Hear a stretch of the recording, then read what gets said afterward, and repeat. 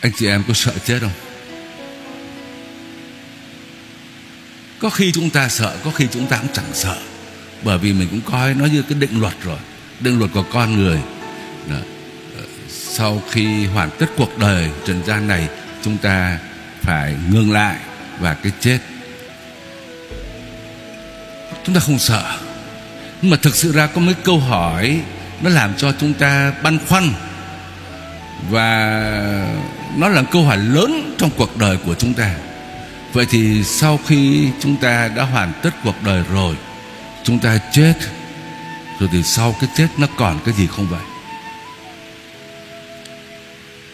Có lẽ tất cả chúng ta đều tin rằng là linh hồn bất tử, Cái hồn của chúng ta nó không có chết được, Nó sẽ sống mãi. Và nhiều người không tin vào Chúa Giêsu Thì cũng vẫn tin là cái hồn cái linh hồn của chúng ta Nó bất tử. Nhưng mà còn cái xác thì làm sao? Cái kinh nghiệm hàng ngày của chúng ta Đó là mình chứng kiến người thân của mình Chết rồi, Cái xác mục nát ra, Tan rã Và hòa nhập vào lòng đất, Không còn gì nữa. Và có lẽ nhiều người trong chúng ta cũng tưởng rằng như vậy là xong rồi, Miễn là hồn chúng ta được sống.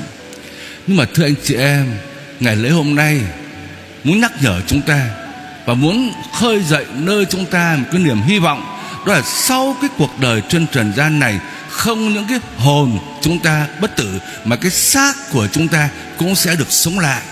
Chúng ta sẽ sống lại với cái xác của mình đây này. Mặt mũi tay chân này, con người này là của tôi đây này, cái xác này là tôi. Tôi không có vay mượn cái xác này linh hồn là của tôi, xác này cũng là tôi tôi là cái thân xác này.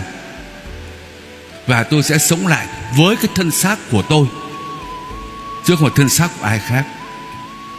Thân xác này, thân xác của tôi sẽ được sống lại. Lẽ dĩ nhiên, thánh phaolô mô tả cho chúng ta đó là chúng ta gieo xuống trong cái hư hoại tan rã, nhưng mà chúng ta sẽ trỗi dậy trong cái bất hoại, gieo xuống trong cái mục nát, trong cái yếu đuối, trong cái hổ thẹn, mà sống lại, trỗi dậy trong cái vinh quang, trong cái mạnh mẽ, trong cái quyền năng. Đó là cái điều chúng ta cảm thấy rất là phấn khởi và hy vọng. Sau cuộc đời này, chúng ta sẽ trỗi dậy với cái xác xác xác của mình nhưng mà cái xác ấy đã được biến đổi.